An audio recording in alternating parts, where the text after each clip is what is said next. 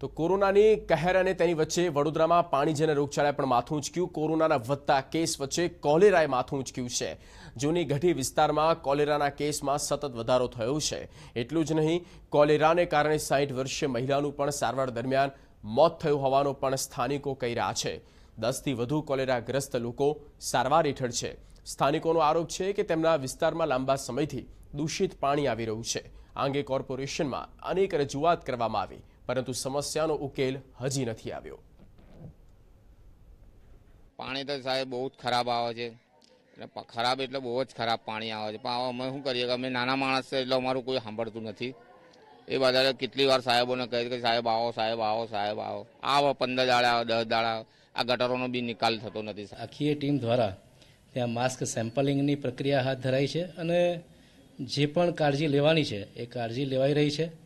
સાથે સાથે ત્યાં પાણીની ટેન્કર જરૂર પડશે પ્રમાણે આપવાની પણ સૂચના આપી છે અને એ જે લાઈન હતી એને આઇસોલેટ કરીને અત્યારે વિસ્તારના લોકોને પાણીજન્ય રોગોમાંથી બચી શકાય એ કામગીરીની હાથ પર લીધી છે. વડોદરા મ્યુનિસિપલ કોર્પોરેશનના વહીવટી વોર્ડ નંબર બે માં આવતા જૂની ઘડી વિસ્તારમાં છેલ્લા એક સપ્તાહથી કોલેરાના કેસો આવતા ચિંતાજનક રીતે વિસ્તારના લોકો દ્વારા જરૂરી પગલાં લેવામાં આવ્યા હતા પરંતુ મોડે મોડે કોર્પોરેશન જાગ્યું છે અને હવે અહીં પાણીના નમૂના લેવાની શરૂઆત કરી છે. પીવાનું પાણી જે લોકો ઉપયોગ કરે તેઓની પાસેથી બોટલમાં પાણી લેવામાં આવી રહ્યું છે.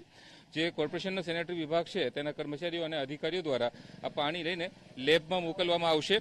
બેન કેટલા સમયથી આ ગંદુ પાણી આવતું બે મિનિટ પાણી ગંદુ આવે છે. બહુ જ પાણી ગંદુ આવે છે. બોલો. લોકો અત્યારે અહીંયા બીમાર છે? હા બધા બધા બીમાર છે દસ બધા બીમાર થઈ ગયા છે.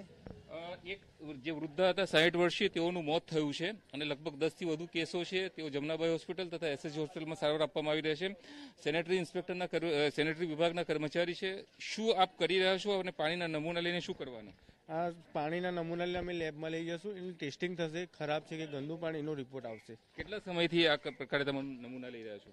લગભગ જ્યારથી છે ત્યારથી લઈએ જ છે અમે. સુધી કેટલા લીધા છે? હમણાં સુધી ત્રીસ લઈ લીધા છે. આજે લીધા. અને અગાઉ કેટલા લીધા છે? અગાઉ પાંચથી સાત વાર લીધેલા છે. કેટલા? કેટલી અગ- ત્રીસ ત્રીસ ત્રીસ પાંત્રીસ નમૂના હોય છે અમારે ત્યાંથી. તો પછી આ કેમ લોકો મરી રહ્યા છે? પણ સર હવે અમને તો ટેસ્ટિંગનું કામ છે. ટેસ્ટિંગ વાળા ત્યાંથી રિપોર્ટ આવે એ રિપોર્ટ પ્રમાણે હોય કે ખરાબ છે કે ગંદુ હોય. સેનેટરી વિભાગના સામાન્ય કર્મચારી છે. જવાબ આપવાની ખરી જે સત્તા છે તે અધિકારીઓને છે. અધિકારીઓ ઊંઘતા હતા. તેને કારણે આ પરિસ્થિતિ સર્જાય છે અને લોકોના જીવ તાળવે બંધાયા છે. એક વૃદ્ધાનું મોત થઈ ચૂક્યું છે અને અનેક લોકો હોસ્પિટલમાં સારવાર બિછાને સારવાર લઈ રહ્યા છે. આજથી જે કોર્પોરેશન જાગ્યું છે, અલગ અલગ વિસ્તારોની અંદર દવાઓનો છંટકાવ પણ પણ કર્યો છે. હંમેશા તંત્રએ આગોતરું આયોજન કરવું જોઈએ, આગોતરા પગલાં ભરવા જોઈએ. પરંતુ જ્યારે પણ આ પ્રકારની પરિસ્થિતિ સર્જાય, રોગચાળો વકરે, ત્યારબાદ જ તંત્ર દ્વારા પગલાં લેવાની શરૂઆત કરવામાં આવે છે અને આ જ રીતે કોલેરાના લગભગ દસથી વધુ કેસો નોંધાયા બાદ કોર્પોરેશન દ્વારા મોડે મોડે કામગીરી શરૂ કરવામાં આવી છે.